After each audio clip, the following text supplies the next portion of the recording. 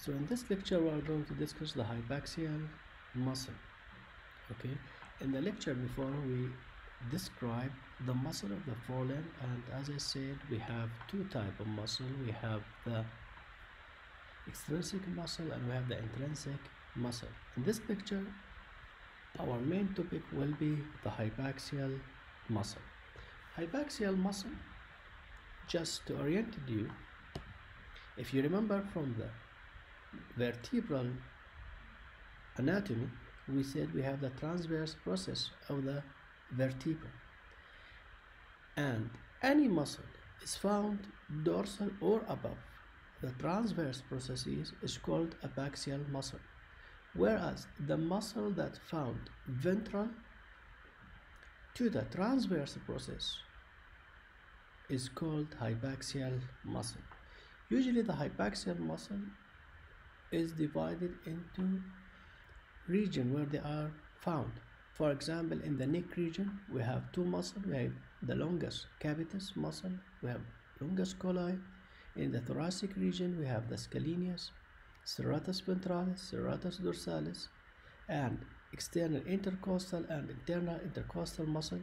Whereas in the abdominal region, we have the external abdominal oblique, internal abdominal oblique, transverse abdominis, and rectus abdominis muscle.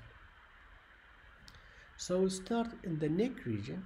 We have the first muscle, which is the longus capitis, which is lies in the lateral lateral area of the cervical region. You can see this muscle here. This is the neck region, and we have this muscle here. This is the longus capitis.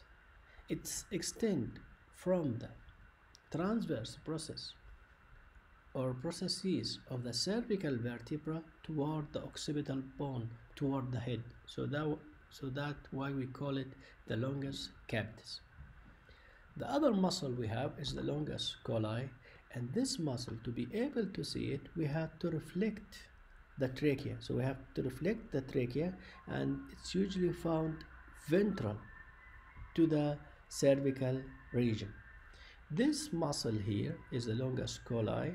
This muscle covers the ventral surface of the cervical vertebra and it starts from the thoracic vertebra number 6. Now if we go to the thoracic region, we have several muscles. We have the first muscle here. We can see this one here which has the triangular shape muscle. This is the scalenus then we have this muscle here which is the serratus ventralis muscle. If we reflect this muscle the serratus ventralis will be able to see the serratus dorsalis cranialis and caudalis. And then we can see there is muscle here between the ribs which is the intercostal muscle and we have two type of muscle. We have the external and we have the internal intercostal muscle. So if we start with the first muscle which is the scalenus muscle this one here. As we can see it's attached to the first few ribs okay? And the transverse processes of the cervical vertebra. This muscle here is the scalenus muscle and you can see it's divided into several slips it's not just one part it's different parts or different segments then we have this muscle here, which is the serratus ventralis, which is a fan-shaped muscle. This muscle have its origin from the ribs and from the vertebra. And this muscle here, their insertion or its insertion will be in the serrated face of the scapula in the subscapular region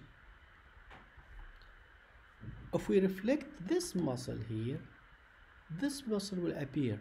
This muscle is the serratus dorsalis muscle. And because we have cranial portion and we have caudal portion so this one we call it serratus dorsalis cranialis where the other part is the serratus dorsalis caudalis.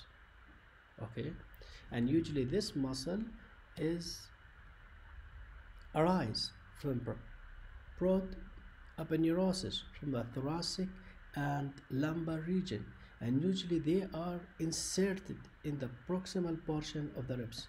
So if we remember here we have the midline in the ventral portion which is the linea alba in the neck region in the dorsal region also we have a line that divide the body into right and left. So this muscle will start from this area here which is the median raphe from the thoracic region and from the abdominal region. Thoracic spine and also from the lumbar spine. The next muscle we have we have the intercostal muscle. From the name this muscle is found between the ribs. Intercostal muscle. We have two type of muscle. We have the external intercostal muscle and we have the internal intercostal muscle.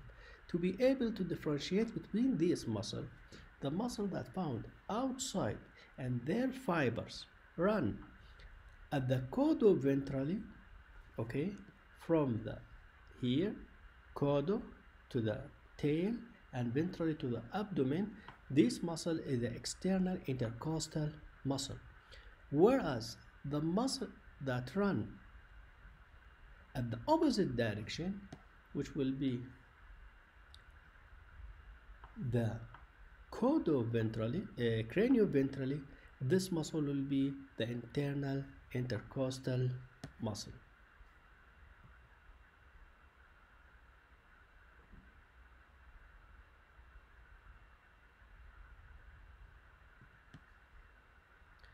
So the one that run at this orientation caudo-ventrally that will be the external intercostal muscle whereas the muscle that run at the opposite orientation which is the cranioventrally this muscle will be the internal intercostal muscle. Now talk about the muscle that found in the abdominal region but I'm going to describe it later when I describe the muscle of the abdominal region. We have four muscle. We have the external abdominal oblique muscle. We have the internal abdominal oblique muscle. We have the transverse abdominal muscle. And we have the rectus abdominal muscle. If you can see this muscle here their fiber runs at the caudo-ventral similar to the external abdominal oblique uh, external intercostal muscle this muscle will be external abdominal oblique muscle whereas the muscle that run in the opposite direction which is cranioventrally this will muscle will be the internal abdominal oblique muscle. So this muscle here cover part of the thoracic region and the lumbar region. This is the external abdominal oblique muscle. And here we can see the muscle that run from the dorsoventrally this muscle will be the transverse abdominal muscle. And we can see there's muscle that runs in a straight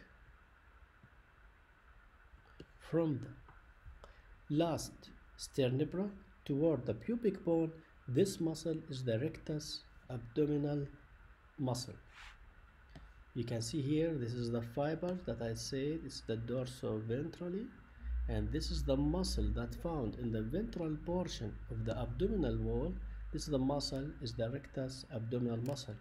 And you can see here this muscle that the fiber is running toward cranioventrally this muscle will be the internal abdominal oblique muscle. Thank you